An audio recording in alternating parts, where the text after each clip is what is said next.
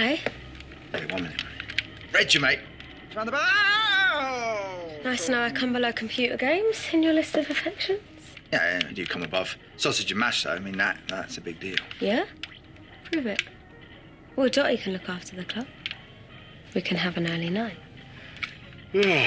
These um, pregnancy hormones are going to wear me out. Not complaining, are you? No. What is that aroma, I hear you ask? Well, that's fish and chips. That is fish and chips, my man, yes! Fish and chips and mushy peas, salt, vinegar, yes, please! Get the ketchup, babe. Oh, look at the size of this. Egg! We'll come out with it. What do you want? A couple of extra shifts. Well, as many as you've got, actually. Or if you need any rats putting through letterboxes. Why? well, Whitney's been nagging me about the bills, and I'm a bit tight this month, so. Bet that new top weren't cheap, was it? Please, Ruby.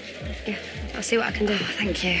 Um, wait, are you and Whitney still living at Dots on your own? Yeah? Why? Well, if Sonia's going to be away for a bit, you could always sublet some of the rooms. More people to split the bills with. Less hassle from Whitney. That is such a good idea. Yeah. And I might even have someone who needs a room straight away.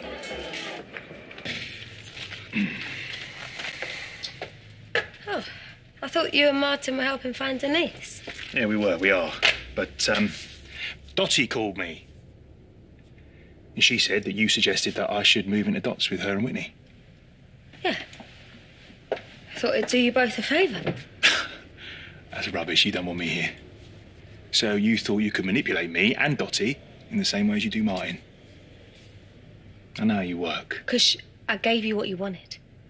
I let you live here. Only to cover your own back. And yours. But things have changed. I'm pregnant. My first baby, and it's a huge deal to me. I want to be able to enjoy it with my husband, and that's kind of hard with his best friend hanging around the whole time. And after everything Martin's been through with Stacey and the kids, don't you think he deserves a chance to enjoy his new child?